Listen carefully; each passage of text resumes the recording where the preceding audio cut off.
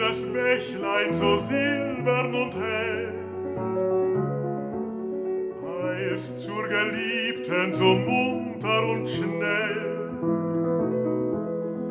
Ach, trautes Bächlein, mein Bote sei du.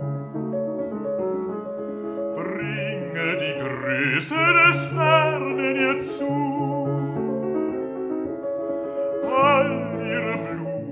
im Garten gepflegt, die sie so lieblich am Busen trägt, und ihre Rosen in purpurner Glut, Bächlein erquieke mit kühlender Flut, und ihre Rosen in purpurner Glut,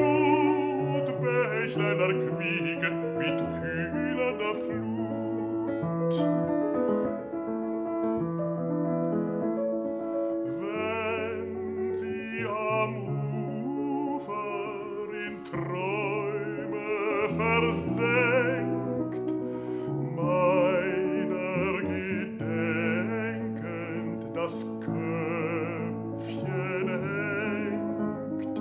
Tröste die Süße mit freundlichem Blick, denn der Geliebte kehrt bald zurück, tröste grüße mit freundlichem Blick, denn der Geliebte kehrt bald zurück.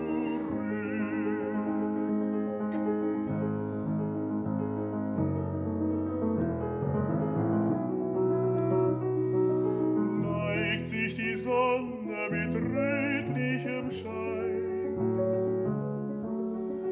wiege das Liebchen in Schluss,